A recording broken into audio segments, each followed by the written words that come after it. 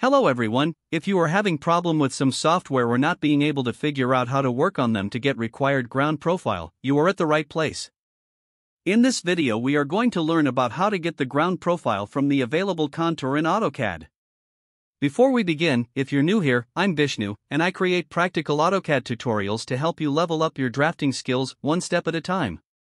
There are more useful tutorials on my channel and still more videos are on the way, so make sure don't miss any. Let's dive in and make AutoCAD a little easier for you to master. Well, in this tutorial video, we are going to use a Lisp file which will very easily provide us contour surface profile which we can use in our detailed drafting works. Well, if you are new for the term Lisp, a Lisp file is a text file containing code written in the Lisp programming language. Lisp files are commonly used to store functions, macros, and other code structures that can be loaded and executed within a Lisp environment, such as in AutoCAD or other applications that support Lisp. So, in this process, you need to have a Lisp file first. Here we can see a Lisp file. I have named this file as CAD Magics, which is my YouTube channel name, and in bracket we can see GPR, which stands for Ground Profile. This Lisp will activate the GPR command in AutoCAD which will help in generating ground profile on the basis of contour lines we have. Now, let's select this Lisp file and copy it with Ctrl plus C. Open the AutoCAD file in which we have our survey contours. Now we have to paste our copied Lisp at the place where AutoCAD uses the space for loading Lisp application.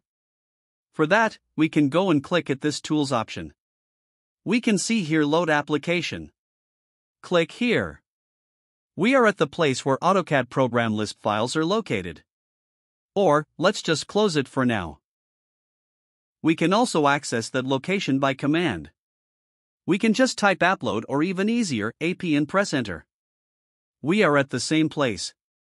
From here we can load or unload any applications which are either AutoCAD default programs or any we have brought here. Let's right click somewhere here and paste. We have to provide administrative permissions for the changes we want to make, click Continue and click Yes. Then the Lisp file is pasted at this location. Till now we have just pasted our Lisp file here. To get our command to work on this file, we have to load it first. For this, we have to select our Lisp file and click on this load. And we can see here CADMagic's GPR.lsp successfully loaded. Now we can close this dialog box. One important thing we should always remember is that, for generating profile, the alignment we select must be polyline. Now, let's select the layer as 0. Let's draw a polyline from here and go on clicking up to here. Now let's type our command that is GPR and press enter. We can see here, it's prompting us to enter the layer name of the contours. Press escape. Let's select this contour and see its name. Here I have name of contour as 1. So let's type command again, GPR and press enter. Now let's type the contour layer name that is 1 and press enter. Now it asks us to select the horizontal alignment.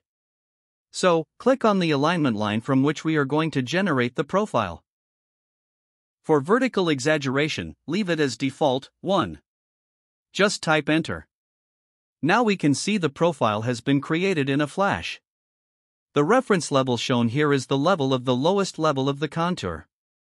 And the levels shown here are the level of contours cut by the horizontal alignment. A is the starting point of alignment location and B is the ending point. Now we can copy this profile and take it wherever we need. Let's copy this with Ctrl plus Shift plus C and delete this from here.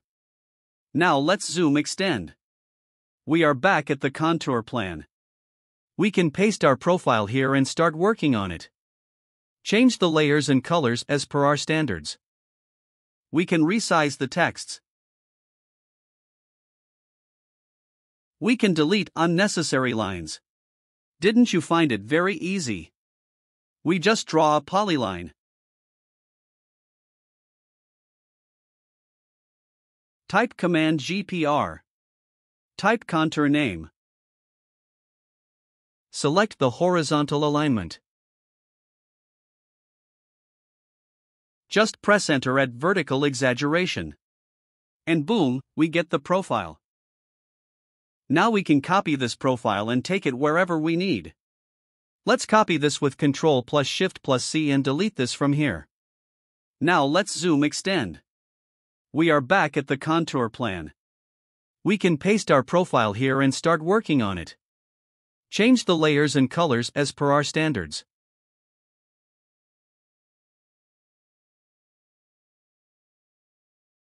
And that's a wrap. You can simply click on the link shared below to download the Lisp file. And I still have hundreds of useful Lisp files at my backup. Since my channel is very new, do not hesitate to support, do not forget to like, comment, and subscribe for more tips and tricks. If you found this tutorial helpful, and if you have any questions or need more clarification, drop them in the comments below, I'd love to help. Thanks for watching, and happy drafting!